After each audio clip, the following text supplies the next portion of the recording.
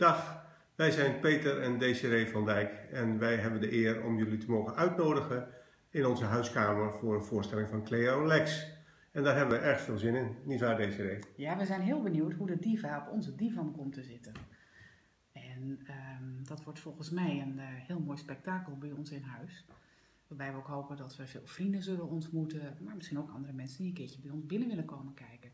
Natuurlijk willen we graag dat iedereen even een glaasje wijn of iets anders meedrinkt. Heb je daar zin in, dan moet je kaartjes kopen via de site en dan wordt het vast een hele geweldige avond. Zien we jullie dan? Dag.